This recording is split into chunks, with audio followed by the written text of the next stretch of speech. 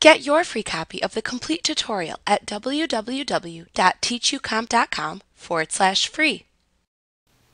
In full screen mode, Acrobat hides all of the toolbars, menus, and panes so that a PDF document occupies all of the available viewing space on the monitor.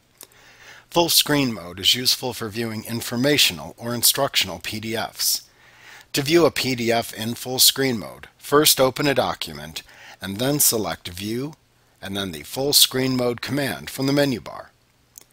The page resizes to fit your screen and everything but the page will disappear from view. To navigate full screen mode, left-click your mouse to advance through the pages. You can right-click to return to previous pages.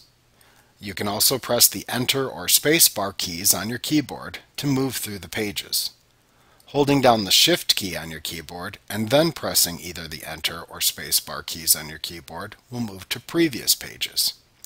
To exit full screen mode, you can either press the Escape key on your keyboard or use the keyboard shortcut of Ctrl plus L to exit. To add on-screen navigational controls, you can press your keyboard's Escape key to exit full screen mode and then select Edit from the menu bar and then choose the Preferences command. Choose Full Screen from the listing of categories shown in the Preferences dialog box, and then select the Show Navigation Bar checkbox in the listing of options to the right. Then click the OK button at the bottom of the Preferences dialog box to apply your preferences.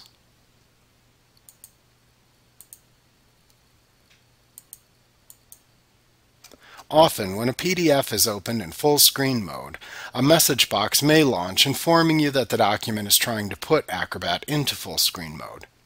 If you see this warning, you can select an option to remember my choice for this document, and Acrobat will not show you the message when you then open that PDF in the future.